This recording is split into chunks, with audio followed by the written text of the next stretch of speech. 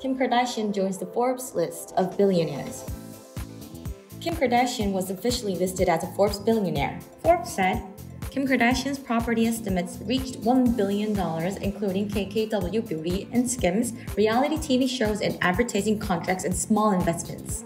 Kim Kardashian established KKW in 2017, sold 20% of its stake to French luxury cosmetics company Coty for $1 billion in 2020, and cashed it all in but still holds about $500 million in remaining shares. Thanks for watching our clip. If you want more information, come visit our site on pressreels.com. Thank you.